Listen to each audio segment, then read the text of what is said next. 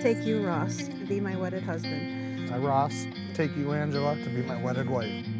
If you know either of them or both of them, you know they fit well. They, they complement each other. Together, they are a force of kindness, humor, and lasting love.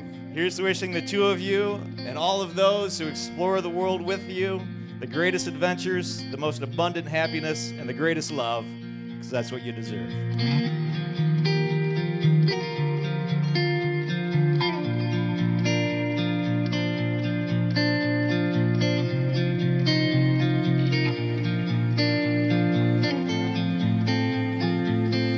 Let us all raise a glass and toast to the new Mr. and Mrs. Slidowski.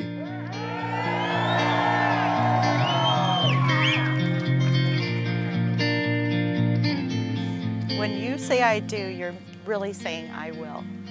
I will love you even on the days I don't like you.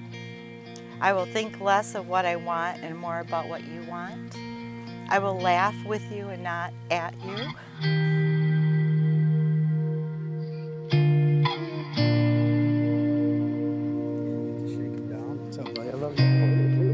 I will support you. I will respect you. I will stand by you no matter what. I will love growing old with you. I will.